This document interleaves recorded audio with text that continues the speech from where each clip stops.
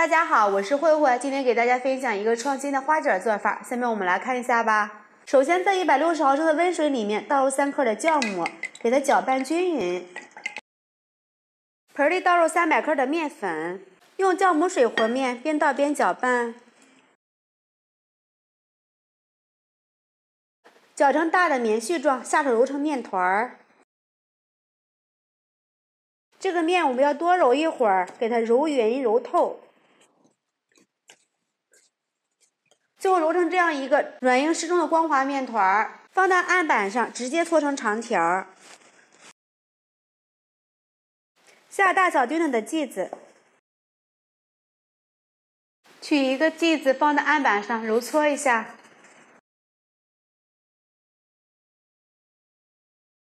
然后再给它搓成长条儿。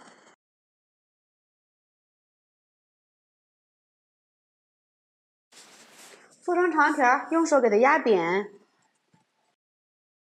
表面给它刷上一层食用油，这个油呢也不要太多。从一头给它卷起来，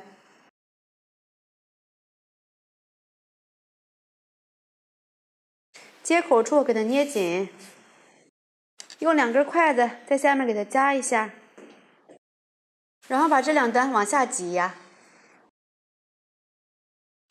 底部呢一定要给它捏紧，这一侧呢给它往外揪一下，这样一个蜗牛的头就出来了。上面给它粘上芝麻，给它当眼睛，这样一个小蜗牛的形状就做好了。盖上盖子，醒发半个小时。看一下，现在已经明显醒发两倍大了。盖上盖子，水开之后蒸十五分钟，使劲倒，焖五分钟，打开盖子。哇，非常的漂亮，而且是非常的暄软。把它取出来，看看我们的小蜗牛花卷就做好了，是不是非常的漂亮呢？颜色也是非常的亮白，非常的蓬松暄软。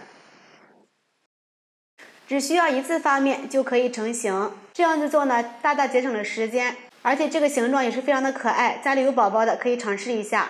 喜欢慧慧的视频，记得点击关注、转发，拜拜。